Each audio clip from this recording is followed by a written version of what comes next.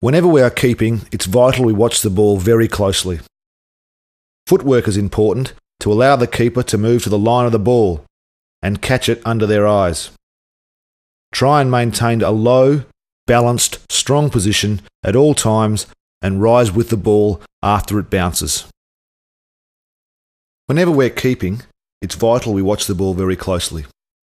The stance is our starting position, a low, balanced position with feet shoulder width apart and arms and hands relaxed out in front of the body. We aim to start in line with off stump to either the left or right handed batsman, giving us a good view of the ball at point of release from the bowler. Whenever we are keeping, it's vital we watch the ball very closely. When catching, we want to present the gloves together, fingers pointing up, down, or sideways, and never at the ball. We try and catch out in front of our body, giving along the line of the arriving delivery. When keeping up to the stumps, it's vital we watch the ball very closely.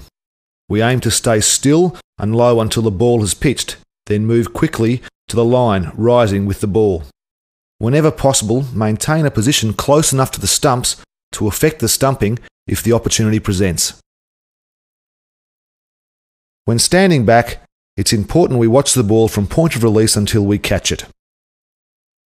We aim to catch the ball under our eyes, giving along the path of the ball. It's important we move to the ball sideways in a strong, low, balanced position.